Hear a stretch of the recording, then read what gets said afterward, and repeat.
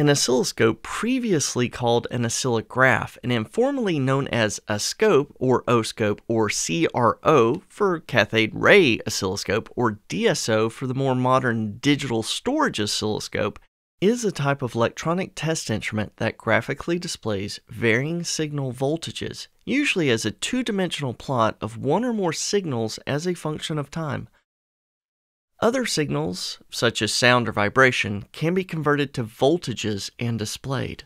Oscilloscopes display the change of an electrical signal over time, with voltage and time as the y and x axis, respectively, on a calibrated scale. The waveform can then be analyzed for properties such as amplitude, frequency, rise time, time interval distortion, and others. Modern digital instruments may calculate and display these properties directly Originally, calculation of these values required manually measuring the waveform against the scales built into the screen of the instrument. The oscilloscope can be adjusted so that the repetitive signals can be observed as a continuous shape on the screen. A storage oscilloscope can capture a single event and display it continuously, so the user can observe events that would otherwise appear too briefly to see directly. Oscilloscopes are used in the sciences, medicine, engineering, automotive, and the telecommunications industry. General purpose instruments are used for maintenance of electronic equipment and laboratory work. Special purpose oscilloscopes may be used for such purposes as analyzing an automotive ignition system or to display the waveform of the heartbeat as an electrocardiogram. A function generator is usually a piece of electronic test equipment or software used to generate different types of electrical waveforms over a wide range of frequencies. Some of the most common waveforms produced by the function generator are the sine wave, square wave, triangular wave, and sawtooth shapes. These waveforms can be either repetitive or single shot, which requires an internal or external trigger source. Integrated circuits used to generate waveforms may also be described as function generator ICs. In addition to producing sine waves, function generators may typically produce other repetitive waveforms, including sawtooth and triangular waveforms, square waves, and pulses. Another feature included on many function generators is the ability to add a DC offset. Although function generators cover both audio and RF frequencies, they are usually not suitable for applications that need low distortion or stable frequency signals. When those traits are required, other signal generators would be more appropriate. Some function generators can be phase locked to an external signal source, which may be a frequency reference or another function generator. Function generators are used in the development, test, and repair of electronic equipment. For example, they may be used as a signal source to test amplifiers or to introduce an error signal into a control loop. Function generators are primarily used for working with analog circuits. Related pulse generators are primarily used for working with digital circuits. Buttons. We are going to briefly cover the location of the buttons you'll mainly be using on the function generator and the oscilloscope for this exercise. Then we'll explain the function of each button as we talk about the exercise. Function generator, power, display frequency, function generator, amplitude dial, main plug, range dial. Oscilloscope, screen, screen info display at the top. Auto Set, the magic button. Main, multi-purpose dial. The button at the bottom that clears the submenus. Measure, yellow 1 button. Plug, menu 1. Blue 2 button. Plug, menu 2. Scale dial. For more in-depth information on how to use a multimeter, please watch our video on its operation. Here we'll be covering how to use the multimeter just to get the resistance values. One of the most important things to do before constructing a circuit is to measure the component values. We're going to measure these resistors using the digital multimeter. It's important to make accurate measurements of each component. We're going to measure the resistance of both resistors in a circuit. We want to measure each resistor, and these are marked as 1000 ohm resistors.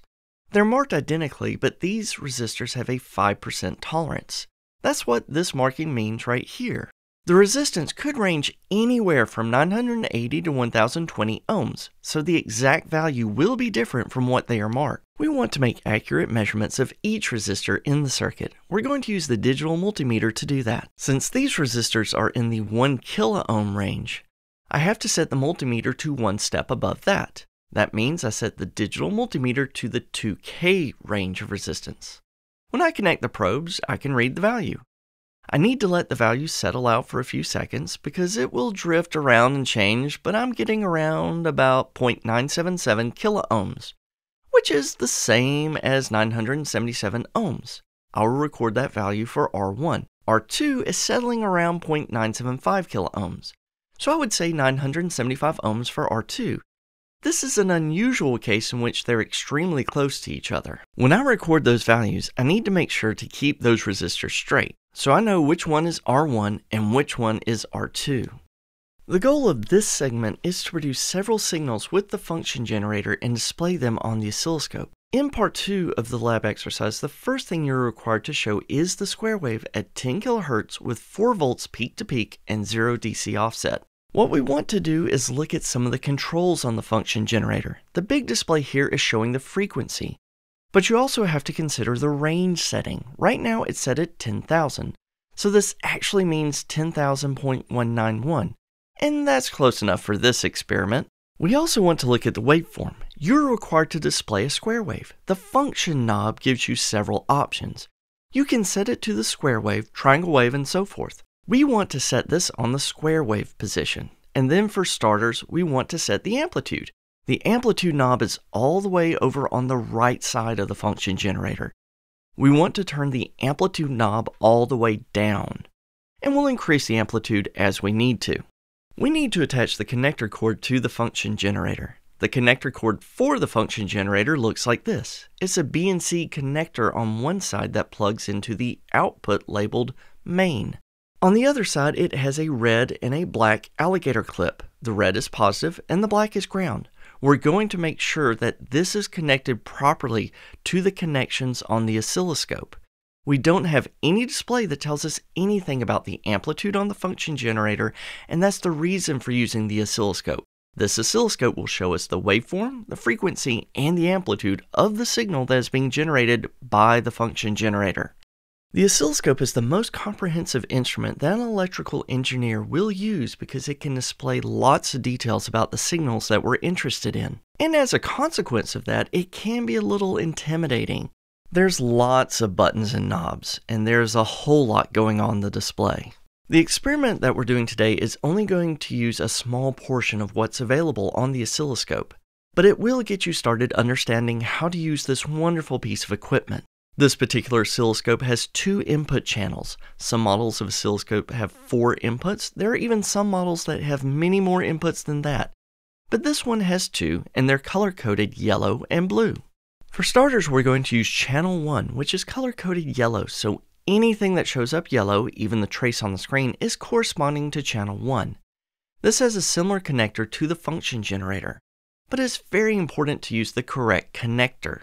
It's made specifically for the oscilloscope. It has electrical properties that only work with the oscilloscope. If you connect a different cable, we won't get the right readings. So you have to make sure your connector says Tektronix. Now we will fit the cable on the channel 1 connector. You will also see there's an alligator clip for the ground. So that is the ground connector, and the positive connector is the spring hook that you can wrap around the wire. Let's now connect the output from the function generator, which are the red and black alligator clips, to the corresponding inputs on the oscilloscope. We said black is ground for the function generator alligator clip. Now connect this to ground for the oscilloscope. Now those two are connected. And the positives also have to be connected. So we have the red alligator clip from the function generator and the hook connector from the oscilloscope. When you connect the function generator to the oscilloscope, you need to lay the wires out carefully in order to make sure that the positive and negative ends don't come in contact with each other. When we do that, then we can start to increase the amplitude on the function generator until we see some sort of signal on the oscilloscope. And right now it doesn't look very exciting. All you see is a broad band of yellow, and that's because we haven't set any parameters on the oscilloscope yet. There's a button I like to call the magic button on the oscilloscope, and it is the auto set. It is on the right side of the upper control panel. If you press auto set on the oscilloscope, it uses its built-in computer to try to figure out the best display settings for whatever signals are coming in. I'm going to press auto set and see what it figures out. It takes it a moment, but then it figures out that this is the best way to display the current signal and you can see that it does look, in fact, like a square wave. The frequency that's indicated on the display here is the same as what is being shown on the function generator. So that's a nice confirmation that we're reading the right signal, which is showing 10.192 kilohertz. You can read the measurements directly off the screen display. Now the only thing that we don't have adjusted is the peak-to-peak -peak amplitude that is being displayed on the screen. And if you look at the yellow lettering, it says peak to peak below the display. It currently says 4.60. What I need to do is adjust the amplitude knob on the function generator until that reads 4.00 or as close as I can get to it. It doesn't have to be exact, but it should be close. Right now I've managed to land this on exactly 4.00. That's just sort of a coincidence. It drifts around a little bit, now it reads 3.96 but it's very close. And you can see this is a square wave. That's going up 2 volts and down 2 volts because the function generator produces what's called a bipolar signal. It goes positive and negative relative to ground. And if you want to know where 0 volts is, where the ground reference is, you can look at the left side of the display. There's a little arrow with a number 1. And that is showing the 0 volts level on the oscilloscope. Now, if you want to look at the signal in a little bit more detail, you can adjust the display settings. You might want to see it broaden out. You can adjust the scale knob on the oscilloscope. Let's go and make the signal appear broader. Or if you want to see more periods or wiggles in the signal, you can adjust the knob the other way, and you can see lots and lots of repetitions of the period of this waveform. Let's continue exploring these settings. Right now, it might be interesting to change the waveform without changing anything else. I can change from a square wave to a sine wave. You can see it changes the shape of the waveform, but not the amplitude. You can explore the other settings, such as the triangle wave. There's also a sawtooth wave. And then to the right of the square wave is a pulse. With the pulse, 10% of the time it's high and the rest of the time it's low. The other pulse signal next to it is the reverse of that signal. 10% of the time it's low, and the rest of the time it's high. We're going to make this our first waveform that we analyze. In the lab experiment, you're asked to capture an image of the screen in order to confirm that you're able to get the correct settings. The next step in our experiment asks us to generate a triangle wave with a frequency of 100 Hz and amplitude of 6 volts RMS. RMS is a different way of measuring the amplitude compared with measuring peak to peak. The oscilloscope can do that for us automatically, Let's first of all generate the correct frequency. Since it's 100 Hz, we need to go to the range setting. That's marked 100. Don't worry what's happening on the oscilloscope screen at this point. It's not important until we get everything set up. Turn the range knob and set it to 100. I'll try to adjust this downward a little bit. Now you can see 100.46 cycles per second or hertz. I don't have any way of knowing where to set the amplitude by looking at the frequency function generator. I have to use the oscilloscope for that. Also, we have to set the function knob to a triangle wave, and that would be just to the left of the square wave. Let's now go ahead and hit the auto set button again on the oscilloscope. RMS stands for root mean square. Another older term for it is effective value. The reason it exists is because it tells you how much average power will be delivered to a resistive load by an arbitrary periodic waveform, which is useful for many applications. To compute the RMS value of a periodic waveform, you square the waveform, average over one period, thus obtaining a positive value, and then take the square root.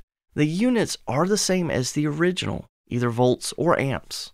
If you do this magic on a sinusoid, the result is easily shown to be the peak value divided by the square root of 2. This approximately equals the peak value times 0.707.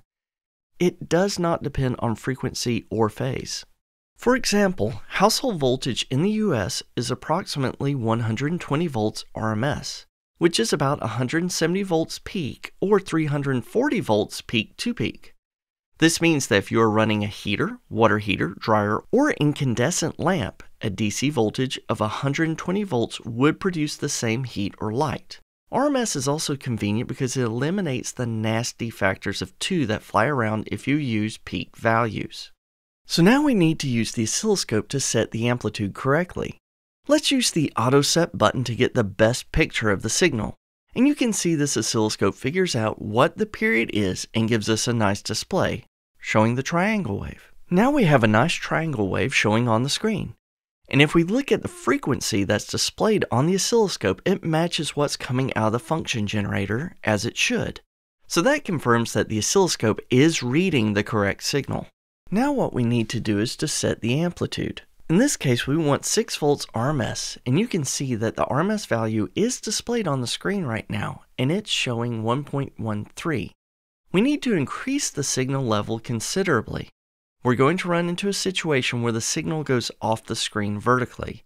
When that happens, this oscilloscope can't measure the amplitude properly because the measurements are based on what you see on the screen. What we need to do is to change the scale. That's accomplished by adjusting the big knob for channel 1. And if we do that, then we can increase the signal amplitude without running off the screen. We are looking for 6 volts. You don't have to be too concerned about being perfectly accurate. Here you can see the cycle RMS value is 5.94 volts, and actually I have this amplitude turned all the way up, so that's as far as I can go. This brings us to the next image that you're asked to collect for the lab experiment. And the last one is the sine wave at 1 kHz, 2 volts peak to peak. So let's reduce our amplitude. That means turn the function knob on the function generator to the sine wave. Turn the range knob to 1K, that's 1 kilohertz. Let's hit auto set again. We're looking for 2 volts peak to peak. Currently we have 8.8 volts. That means we need to dial down the amplitude considerably. The signal on the display is getting very small on the screen and is becoming hard to read. We need to use the scale knob to make it larger thereby making it easier to see and help us get more accurate measurements on the oscilloscope. So that's 2.1 now, 2.0, that's right in the ballpark. And that's what a sine wave at 1 kHz with 2 volts peak to peak looks like. This concludes the first segment of Part 2's experiment. Now it's time to proceed to the second half of Part 2's experiment. We're going to connect the function generator and oscilloscope to a circuit and see if we can make an LED blink. In part one of this experiment, we had constructed a circuit where we applied a DC voltage. Now we're going to apply a time varying voltage from the function generator and look at it on the oscilloscope. I have two resistors that were previously measured so we know their resistance value in ohms. I'm going to insert the first one, called R1, so that it corresponds to the circuit diagram in your lab write-up. And the second one, R2, is going to be connected in series with R1. We are constructing the circuit so it resembles the circuit diagram in your lab instructions. Here R1 and R2 are now connected. Now I need to connect the function generator's positive red alligator clip to the free end of R1 and the negative black alligator clip connects to the free end of R2. So now there's voltage applied across these resistors. We're going to use the oscilloscope to read the voltage across each one of these resistors. At this point, we need to make sure there is one and only one ground in every circuit, as we talked about before. This alligator clip on the oscilloscope probe is ground. That has to be connected to the same place as the function generator ground. We want to take the reading of the voltage across R1. It's marked scope channel 1 in your lab write-up. What we will do is to clip this oscilloscope lead onto that end, and then you can see on the oscilloscope display the voltage waveform and its corresponding measurements. Now we can see the voltage waveform that's being applied to the resistors R1 and R2. That is the function generator's waveform. It's reading 2.02 volts peak to peak as desired and 1.0 kilohertz for the frequency. That is just confirming the voltage we are applying from the function generator is appearing across the resistors. Now on the second channel in the oscilloscope, we need to measure the voltage across R2. To do that, we're going to use the other oscilloscope probe that is connected to channel 2, which is color-coded in blue. Our goal is to see a signal in blue that will show us the voltage across just resistor R2. Let's try to simplify life just a little bit. All the grounds for this oscilloscope are the same, so there's actually no need to connect the second probe's alligator clip grounding cable to the circuit. We'll just leave that lying around. That way it's not tugging on everything and making life difficult. Now we will use channel 2's probe connector to connect at the junction between R1 and R2, and it's fine to connect it either to the second leg of R1 or to the first leg of R2. Since they're connected anyway, it doesn't matter where you connect the probe. On the screen right now, all you see is this yellow trace, and that's channel 1. To see channel 2's data, you have to push the blue channel 2 button. And then you will see channel 2's trace appear. And you will see some readings for channel 2, such as the RMS value. Right now, the RMS reading is registering as 353 millivolts for channel 2. The RMS reading for channel 1 is 701 millivolts. RMS is actually for a sine wave. RMS is the peak value divided by the square root of 2. So that's why these numbers are different from peak to peak. The main thing that you notice about this though is that the RMS value for resistor 2 is about half of the total. And that's what we would expect. Since both resistors have almost equal value, we would expect the voltage to divide equally. So that confirms that we have a circuit arranged properly and that we're able to measure the voltage in two different places simultaneously in this circuit using this two-channel oscilloscope. Before I make any changes in the circuit, I need to turn off the function generator. Alright, we're going to replace resistor R1 with an LED so we can watch it blink. The LED gives us a way to see the current flowing through the circuit, so that's going to be fun. We're going to have to replace R1. I'm going to pull out R1 and replace it with an LED. This LED is polarized. There's a positive leg and a negative leg. The legs on an LED are different lengths, unless someone has clipped the legs to make it fit. A fresh LED will have one leg slightly longer than the other one. The longer leg is the positive leg. We want the positive leg connected to the function generator. The negative leg should connect to R2. Here's the completed circuit. Now we're going to connect the function generator to the circuit. Put the positive lead where it was before, on the positive side of the LED. Connect the negative or ground connection at the bottom of R2, just like before. Now I'm going to turn on the function generator. You'll probably not see anything happen at this point until we make some adjustments. What we need to do is to adjust the function generator to produce a sine wave at 10 Hz with 15 volts peak to peak. So in order to get the settings right for the function generator, we need to use the oscilloscope. And once again, we're going to use channel 1. We're going to use the probe to measure the entire circuit. You can see that a sine wave appears. What we want to do now is to adjust this to 10 Hz. So I've got to go back to the function generator and turn the range knob down to 10. I'm going to hit the auto set button again on the oscilloscope. I would like to have a few more wiggles, in other words, a few more periods on the display. And now what I want is a peak-to-peak -peak value of 15 volts. Right now, I have just 2 volts, so I need to turn up the amplitude a lot. I have to remember to adjust the scale so the picture doesn't go off the screen. Now I'm at 12 volts, now 16 volts. Let's go back a little bit. Here I'm in the vicinity of 15 volts. Now I can increase the scale factor so I can get a little better view of it. But I can't increase it to the point where it goes off the screen, which is what we have. So let me turn the scale knob back down. Now we can see the LED is blinking, is blinking 10 times a second. It's not realistic to try to count them. Here's the completed circuit with the LED blinking. This is a way of visually seeing the current flowing through the circuit.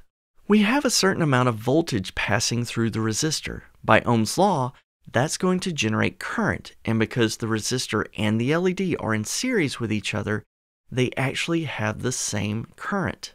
The LED only turns on when current is flowing through the circuit. That means when the sine wave goes negative, the LED does not turn on.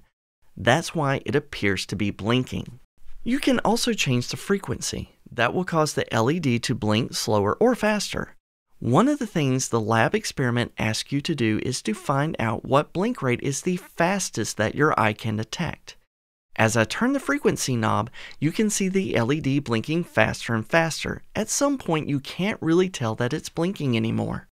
It just looks like a steady dim glow. For most people, that's going to be somewhere between 30 and 40 hertz. In other words, somewhere between 30 and 40 cycles per second, as you see here. You can also turn the frequency knob to a much lower frequency. You can see the blinking slows down. To summarize, higher the frequency, the LED blinks faster. Lower the frequency, the LED has fewer blinks per second. That's what we're trying to demonstrate with this part of the experiment.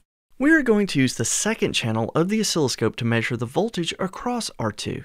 And we'll notice that the voltage is different than the total voltage, because some voltage is dropping across the LED to make it light up. So I'm going to connect the second channel of this oscilloscope to the junction between the LED and R2. Now that is where we're going to take a look at the oscilloscope screen. So now we're looking at the screen and we still see channel 1 in yellow, and that is the source voltage coming from the function generator. Now that I've connected channel 2 across resistor R2, I should be able to pull up that waveform by pressing the blue button labeled channel 2. Do you see that show up now? Notice that a couple of things happen. One is that there's a side menu. If you want to get rid of the side menu, press this round button at the bottom of the side panel. That lets you see the screen a little better. Also, you can see that the blue is off the screen, and that's because it is not scaled or auto-arranged. So what we're going to do is to turn the scale button to the left. If you look at the bottom on the screen, you'll see a yellow box with a 1 in it, and that's for channel 1. And the scale setting is 5 volts per division. And I have the same scale setting for channel 2. And what you notice is that they are not the same. Channel 1 is a full sine wave, but channel 2 is only half a sine wave.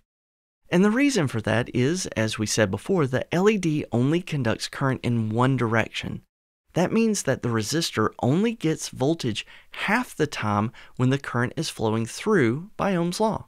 When there's no current flowing through the LED to the rest of the circuit, according to Ohm's law, that means there's no voltage. That's the time period when the blue line is flat. Then, when the LED lights up, current is flowing through it. That creates voltage across R2. And that's when R2 seems to follow the shape of the yellow curve. Seeing these two signals lined up, it helps us to see the difference. The reason they're a little bit different is because of the voltage drop across the LED.